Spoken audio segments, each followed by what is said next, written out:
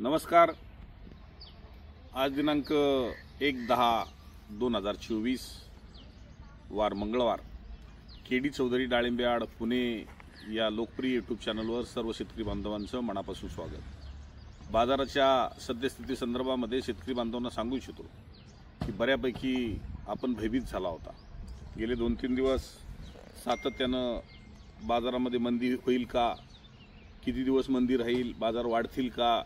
हे अनेक प्रश्न शेतकरी फोनवर विचारत होते. आणि खऱ्या अर्थानं शेतकऱ्यांना एक दिलासा या यूट्यूब चॅनलच्या माध्यमातून मिळत असताना शेतकरी बांधवांना मी सांगू इच्छितो सांगत होतो की ही मंदी पावसाची मंदी आहे. पाऊस उत्तर भारतामध्ये एक दोन तीन दिवस असेल आणि दोन तीन दिवसामध्ये जरा थोडासा रेट कमी जास्त होऊ शकतो. परंतु ज्या अपेक्षेप्रमाणे आपण ज्या बाजाराला मंदीला सामोरं जाऊ असं मला वाटत होतं. परंतु आपल्यालाही वाटत होतं पण तशी मंदी ही मला जाणवली नाही. त्याचं कारण असं होतं की पाऊस जरी असेल तरी वेगवेगळ्या राज्यात बाकीच्या जिथं पाऊस नसेल तिथं नवरात्रीचा उठाव हा बऱ्या प- बऱ्याच प्रमाणात होता. आणि रस्त्यामध्ये जे माल होते ते विक्री झाल्याच्यानंतर किंवा विक्री होस तोपर्यंत व्यापारी सुद्धा भयभीत होता की किती पाऊस येतो आणि आपला माल रस्त्यामधला आणि तिथं पोचलेला माल जोपर्यंत विक्री होत नाही तोपर्यंत मालाची खरेदी करणं हे थोडंसं अवघड आहे अशा परिस्थितीमध्ये व्यापारी पण अडकला होता. परंतु दोन दिवसामध्ये रस्त्यातले माल क्लिअर झाले आणि आता जी खरेदी होते आहे ही चांगल्या पद्धतीने उठाव हा वाढलेला कालपासून जाणवला. त्याच्यामध्ये गोटीचेच रेट एकशे दहा एकशे वीस रुपयापर्यंत ॲव्हरेजली पोचले. परंतु जे जागेवरती खरेदी होते ती साधारणतः दीडशे ग्रॅमपर्यंतची जी गोटी आहे दीडशे एकशे साठ ग्रॅमची गोटी ती जर आज पुण्यामध्ये पाहिली चांगल्या मालाची तर खऱ्या अर्थानं ही गोटी एकशे पंचेचाळीस एकशे पन्नास एकशे पंचावन्न रुपये किलोपर्यंत विक्री स्टार्ट झाली. किंबहुना एकशे साठ रुपयापर्यंत पण अशा मालांच्या विक्र्या झाल्या. खऱ्या अर्थानं आपण खालची गोटी जर पाहिली त्यात पन्नास ग्रॅम सत्तर ग्रॅम शंभर ग्रॅम असे माल मिक्स असतात. पण त्याच्यावरच्या राशीचा जर विचार केला तर त्या दीडशे ग्रॅमच्या वरती माल जो असतो तो खऱ्या अर्थानं आपण जाग्यावर देताना त्याच्या पुढचा सौदा करतो आणि खालचे माल हे रिजेक्शनमध्ये होत असतात. आणि म्हणून शेतकरी बांधवांना एक दिलासा देण्यासारखं हे वातावरण असताना आपण खूप भयभीत झाला होता की बाजार खाली येतील का? कर्नाटकच्या मालाचा आपल्यावर इफेक्ट होईल का?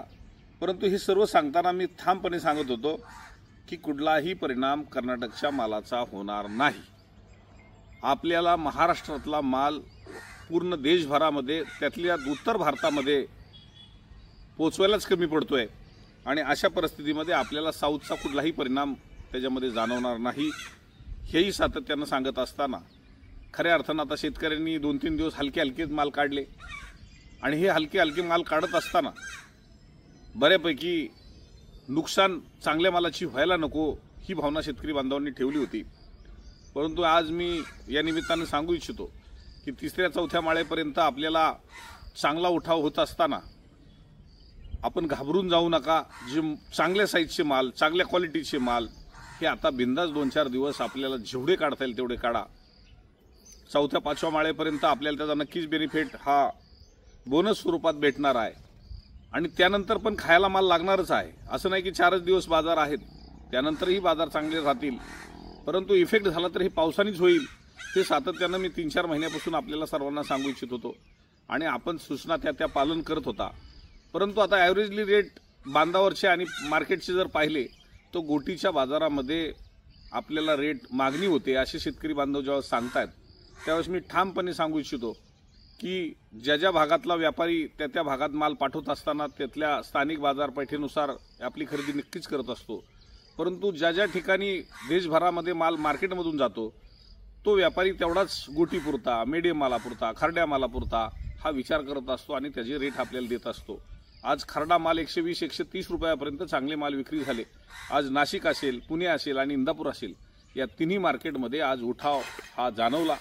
आणि बा आता वातावरण पण आता आपले कोरडं झालेलं आहे. म्हणजे महाराष्ट्रातलं तर वातावरण कोरडंच आहे पण पुढेही वातावरण कोरडं होत असताना खऱ्या अर्थानं आता शेतकऱ्याला राहिलेल्या मालाचे पैसे बनतील अशी आशा ही तुमच्या मनामध्ये निर्माण व्हावी अशी परिस्थिती आता तर मला जाणवते. आणि म्हणून घाबरून जाऊ नका. जर आपल्याला कुठलीही शंका आली तर आपण यूट्यूब चॅनलच्या माध्यमातून आपण खऱ्या अर्थानं त्याची माहिती मिळवा. सातत्यानं फोन हे वाढलेले आहेत. एकच प्रश्न आहे की किती दिवस बाजार वाढतील राहतील? माल काढू का? ह्या रेटमध्ये मागितला जातोय. मी सांगू इच्छितो की जर आपल्याला तशी मनामध्ये भीती असेल तर आपण नक्कीच मार्केटला मोकळं या. खात्री करा. नाशिक मार्केटमध्ये आज ठराविक पद्धतीने ज्यावेळेस शेतकरी माल घेऊन यायचा पूर्वी आणि मग भयभीत व्हायचा परंतु थोडा थोडा माल आणताना सुद्धा त्यांची ज्यावेळेस खात्री झाली तर आज प्रचंड आवक नाशिकमध्ये येऊन सुद्धा ग्राहक वर्ग त्या ठिकाणी भरपूर असल्यामुळं तिथला रेट हा उच्चांकी जागेपेक्षा हा व्यापाऱ्याला हे शेतकऱ्याला मिळायला लागला. पुण्यामध्ये तर मी नेहमीच सांगतो की महाराष्ट्रात कुठंच रेट मिळणार नाही ते पुण्यामध्ये मिळतील. आज दोनशे सव्वा दोनशे दोनशे चाळीस रुपयाच्या आसपास चांगल्या मालाचं ॲव्हरेज पडतंय. आणि खऱ्या अर्थानं पुण्यामध्ये जे रेट मिळत आहेत ते कुठं नस मिळत नसताना चांगल्या मालाचं विरळून विरळून पैसे शेतकरी करतायत. आणि आपण एक बिंदास्त होत आहे की आज पुण्यामध्ये ज्या क्वालिटीच्या मालाचे पैसे होत असताना शेतकरी आता जवळजवळ पन्नास टक्के आवक ही चांगल्या मालाची पुण्यामध्ये आज आमच्याकडे जेवढी आवक होती त्यातली पन्नास टक्के चांगल्या मालाची आवक होती. आणि ग्राहक वर्गसुद्धा त्या लेवलचा असल्यामुळं त्याच्यामध्ये कुठलाही बाजारामध्ये वि- चढ उतार होत आहे आणि म्हणून एक दिवस बाजार चढवायचा दुसऱ्या दिवशी उतरायचा अशी पद्धत ही आपल्या कुठल्याही मार्केटमध्ये आपल्याला जाणवत नाही. ॲव्हरेजली बाजार मंदी असो मंदी असेल तरी चार चार सहा रुपयाचाच फरक पडला आणि आता त्याचा परिणाम हा आता वाढीला आपल्याला जाणवतोय. आणि म्हणून मी शेतकरी बांधवांना सांगू इच्छितो की चार दोन दिवस माल मार्केटमध्ये येत असताना काही भिजलेले माल येत होते काही सुके माल येत होते. सुक्या मालाला चांगले रेट मिळत होते. भिजल्या मालाला थोडासा कमी जास्त रेट होत होता. परंतु आता चांगल्या मालाचा चांगला रेट आहे आणि आता सुकलेले भिजलेले माल बरेचसे कमी झालेले आहेत. फक्त आता आपण विरळत विरळत माल काढा. दिवाळीपर्यंत आपल्या बागा चालवल्या तरी कुठलाही परिणाम आपल्या बाजार मालावरती होणार नाही बाजारपेठा मंदी होणार नाही. हेही सातत्यानं मी शेतकरी बांधवांना सांगत असताना एक दिलासा देऊ इच्छितो. कारण आपण हातातोंडाचा आलेला घास मंदीमध्ये सापडेल का? या विवंचनेत होता. जागेवरची खरेदी मार्केटची परिस्थिती ह्या तपासत होता. परंतु आजही चांगले पद्धतीने जागेवरती सौदेसुद्धा होत आहेत. परंतु जर कमी होत असतील तर मोकळे या. पाहणी करा आणि मग दोन्हीकडं आपण तफावत पाहत असताना मार्केटिंगचा अभ्यास करा आणि या वर्षामध्ये आपल्याला कुठलीही आपली नुकसान होणार नाही. या पद्धतीने काळजी घेऊन सौदे करा.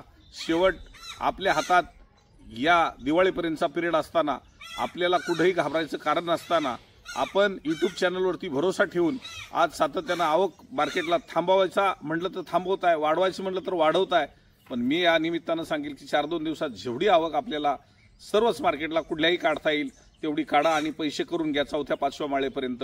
हेच या निमित्तानं सांगत असताना ड्रॅगन फ्रूट असेल पेरू असेल गोल्डन सीताफळ असेल या तिन्ही मार्केटला आपल्याकडे विक्री होत असताना नाशिक पुणे आणि इंदापूर या तिन्ही ठिकाणी ड्रॅगन फ्रूट पेरू आणि सीताफळ गोल्डन सीताफळ आपल्याकडे उपलब्ध असेल तर व्यापाऱ्यांना आपण तशा सूचना दिलेल्या की आपण वेगवेगळ्या राज्यात ते माल पाठवा.